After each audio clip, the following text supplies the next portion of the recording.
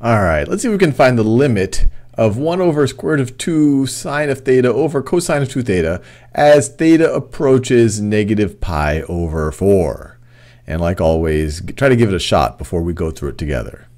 Well, one take on it is, well, let's just, let's just say that this is going to be the same thing as the limit as theta approaches negative pi over 4 of 1 plus square root of 2 sine theta over uh, the limit as theta approaches negative pi over 4, make sure we can see that negative there, of cosine of 2 theta.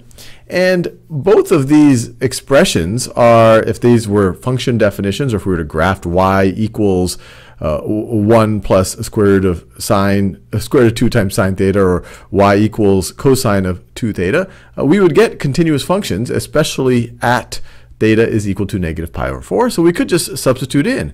We say, well, this is going to be equal to this expression evaluated at negative pi over 4. So 1 plus square root of 2 times sine of negative pi over 4 over cosine of 2 times negative pi over 4.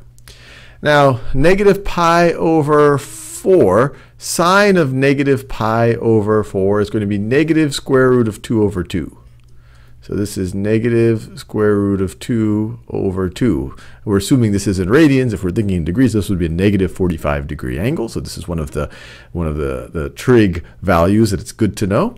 And so if you have if you have 1, so let's see. Well, actually, me just rewrite it. So this is going to be equal to 1 plus square root of 2 times that is going to be negative 2 over 2. So this is going to be minus 1. That's the numerator over here. All of this stuff simplifies to negative 1 over, this is going to be cosine of negative pi over 2, right? This is negative pi over 2. Cosine of negative pi over 2, if you thought in degrees, that's going to be negative 90 degrees. Uh, well, uh, cosine of that is just going to be 0. So what we end up with is equal to 0 over 0. And as we've talked about before, if we had something non-zero divided by 0, we'd say, okay, that's undefined, we might as well give up. But when we have this indeterminate form, it does not mean that the limit does not exist. It's usually a clue that we should use some tools in our toolkit, one of which is to do some manipulation here to get an expression that maybe is defined at theta is equal to, or is, does not, is not an indeterminate form at theta is equal to negative pi over 4, and we'll see other tools in our toolkit in the future. So let me algebraically manipulate this a little bit. So if I have 1 plus the square root of 2 sine theta over cosine 2 theta, as you can imagine, uh, the things that might be useful here are our trig identities. And in particular, cosine of 2 theta seems interesting. Let me write some trig identities involving cosine of 2 theta. I'll write it over here. So we know that cosine of 2 theta is equal to cosine squared of theta minus sine squared of theta, which is equal to 1 minus 2 sine squared of theta, which is equal to 2 cosine squared theta minus 1. And you can go from this one to this one to this one just using the Pythagorean identity. And we, we proved that in earlier videos in, in trigonometry on Khan Academy. Now, do any of these look useful? Well, all of these three are going to be differences of squares, so we can factor them in interesting ways. And remember, our goal at the end of the day is maybe cancel things out that are making us get this 0 over 0. And if I could factor this into something that involves a 1 plus square root of 2 sine theta, then I'm going to be in business. And it looks like, it looks like this right over here, that can be factored as 1 plus square root of 2 sine theta times 1 minus square root of 2 sine theta. So let me use this. Cosine of 2 theta is the same thing. Cosine of 2 theta is the same thing as 1 minus 2 sine squared theta, which is just a difference of squares. We can rewrite that as, this is a squared minus b squared, this is a plus b times a minus b. So I can just replace this with 1 plus square root of 2 sine theta times 1 minus square root of 2 sine theta. And now we have some nice canceling or potential canceling that can occur. So we could say that cancels with that. And we could say that that is going to be equal, and let me do this in a new color. This is going to be equal to, in the numerator we just have 1, in the denominator we just are left with 1 minus square root of 2 sine theta.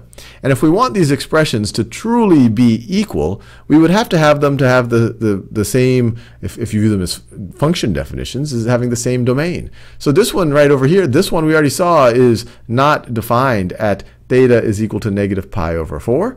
And so this one, in order for these to be equivalent, we have to say that this one is also not. And actually other places, but let's just let's just say theta does not does not equal negative negative pi over 4.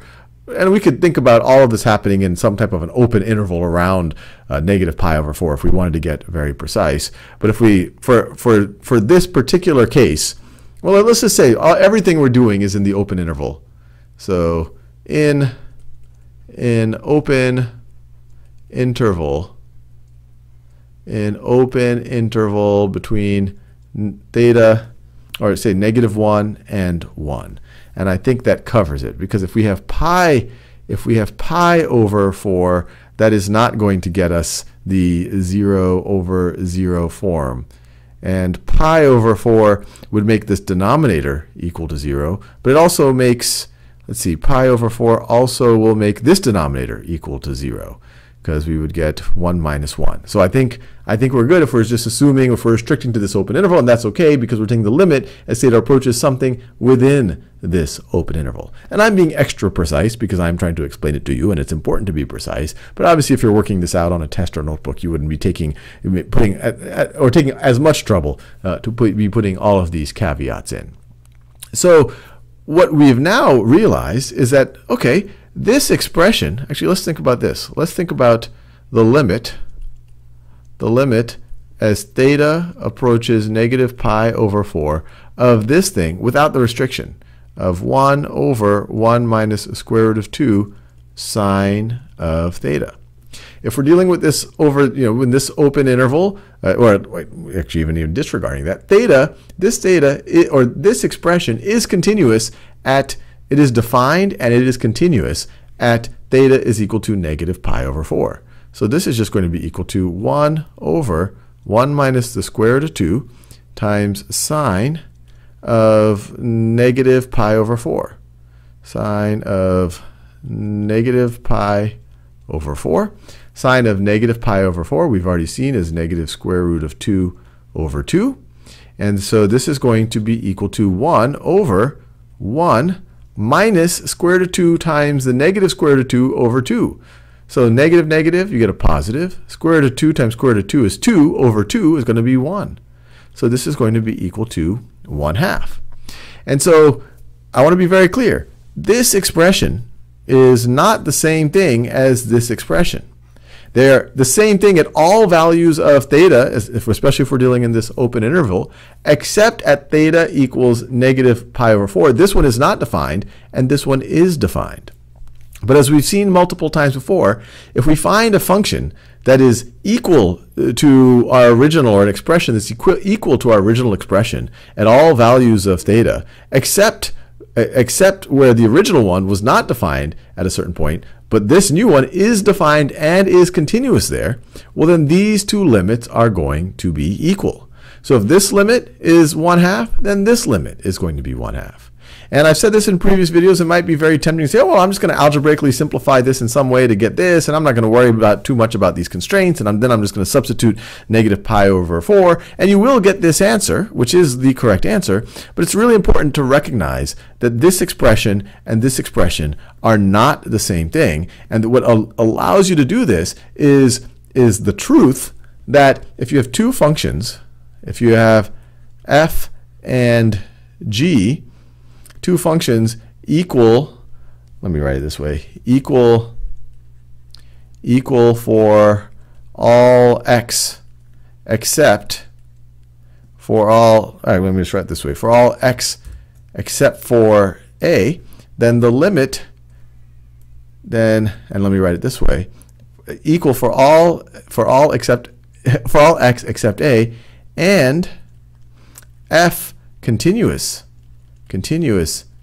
at a, then then the limit of f of x as x approaches a is going to be equal to the limit of g of x as x approaches a. And I said this in multiple videos, and that's what we are doing right here. But just so you can make sure you, you got it right, the answer here is 1 half.